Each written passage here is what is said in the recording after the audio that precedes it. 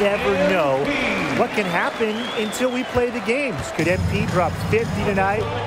Will we see overtime, a triple-double, a game-winning shot? We have no idea. This is why we play and watch the games. Like all great scoring centers, Ayton absorbs the defender and completes it. One of the latest trends in the NBA, load management.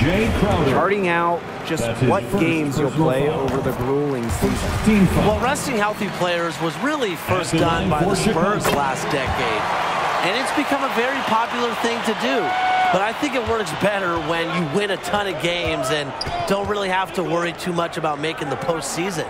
It also puts a spotlight on young legs. Guys like MP who can play every game. They are so important because you can count on that production. Really, health is a skill. Players who stay available have massive value to NBA teams. Now here's LaVine. Here's my player. And that comes off the assist by Zach LaVine. Ooh, that's a great find from LaVine. Now, he plays mostly the two, but he came into the league as a point. Here's Bridges.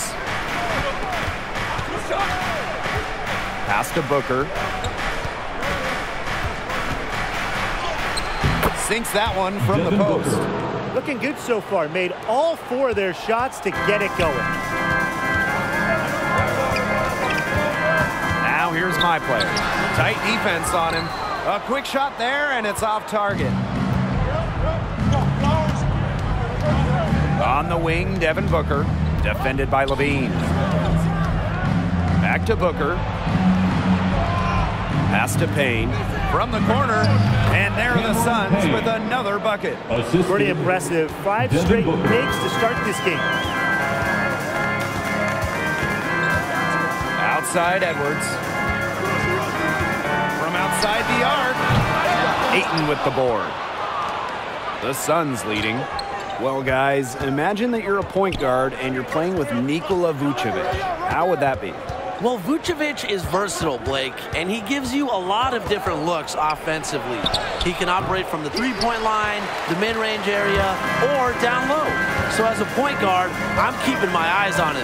100%, Brian. If you're running the offense, you want guys around you that can score in different ways. You know, his skill set helps you stay unpredictable, and as a point guard, that's key. Now here is Booker. A tremendous first quarter shooting the basketball. Yeah, just uh, some really impressive scoring. Everything seems to be going in. Here's Edwards. He has six. And that comes off the assist by Zach LaVine. I like the way he's taking advantage of what the defense is giving him. He's been a key contributor for them this quarter.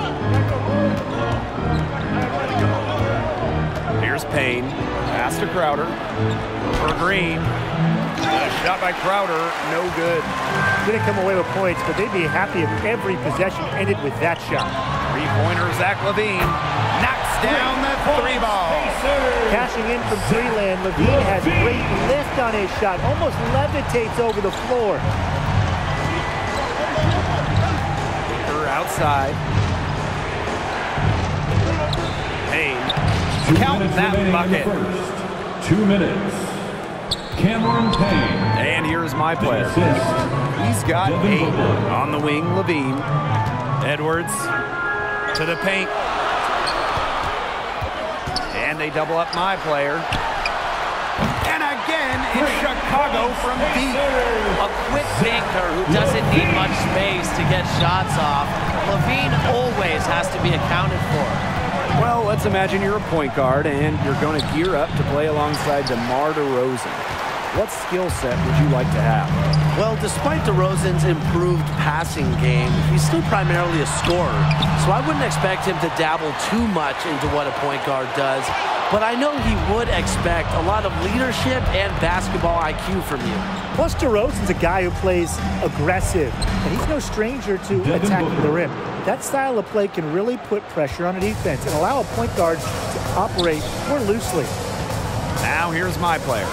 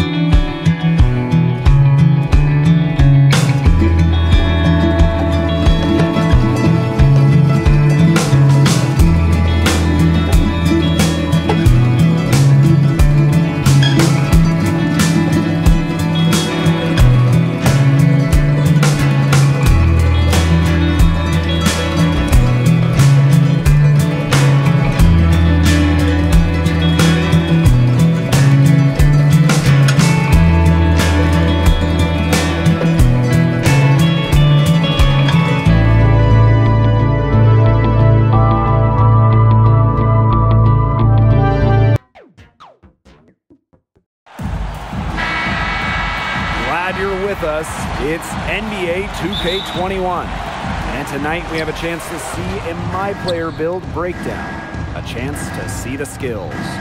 In this game, we'll see the Phoenix Suns against the Chicago Bulls. Here we go, basketball fans. Joined by Brian Banafitemi and Tim Swartz. Devin This Booker. is Blake Suniga welcoming you in. All eyes on my player tonight. I'll definitely be tracking him, Blake. I'm excited to see where his game is. Each contest is a different environment, and each game presents new challenges. How you deal with those questions says a lot about your future. Finally, we agree, Brian.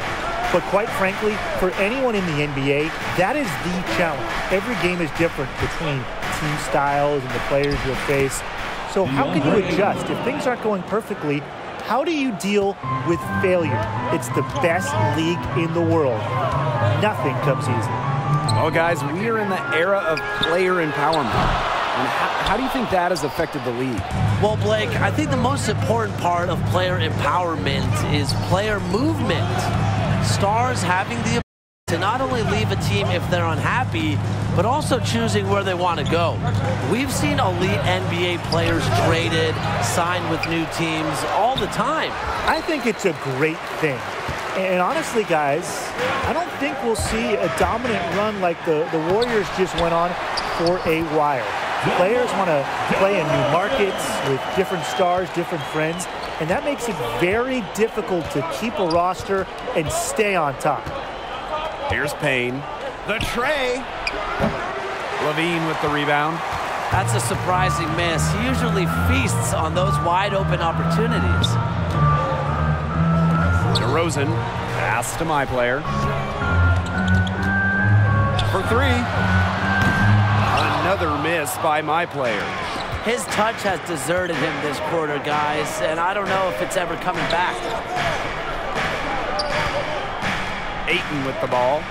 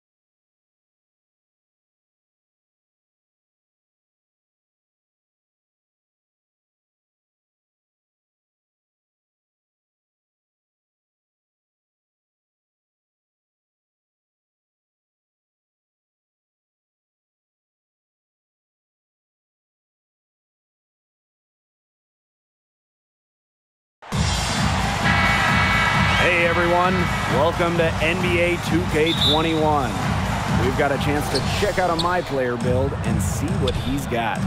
Moments away, it'll be the Phoenix Suns going up against the Chicago Bulls.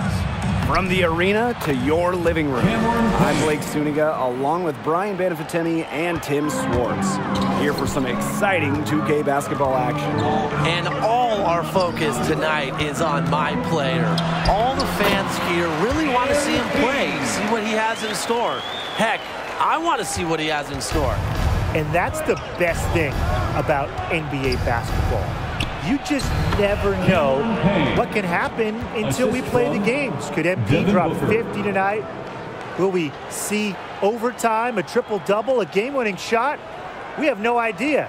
This is why we play and watch the games. And it seems like overnight with a move or two, you know, teams can go from rebuilding to contenders for the NBA title. It's just crazy. Well, we saw that with Brooklyn adding KD and Kyrie, the Clips bringing in Paul George and Kawhi to Los Angeles. If you can save some cap space, build a pile of assets, you can change the fortunes of an organization really quick. Well, if you're a guy like MP, you never know what your next year will look like. Remember on the other side of the spectrum, OKC traded Paul George and Russell Westbrook. All of a sudden, the Thunder are rebuilding. So you have to be ready as a young player for your situation to change at any time. Four straight makes out of the gate. That's just a nice start. Here's the Bulls with the ball. It's a three-point game. My player from deep. Another miss by my player. Booker outside. And we're about two minutes into the first quarter. Pass to Ayton. Back to Booker. To the middle. Tries yet again. And Vucevic with the block. You might expect a swat like that from a seven-footer like Vucevic, but I'm still going to applaud his timing on that. Another miss by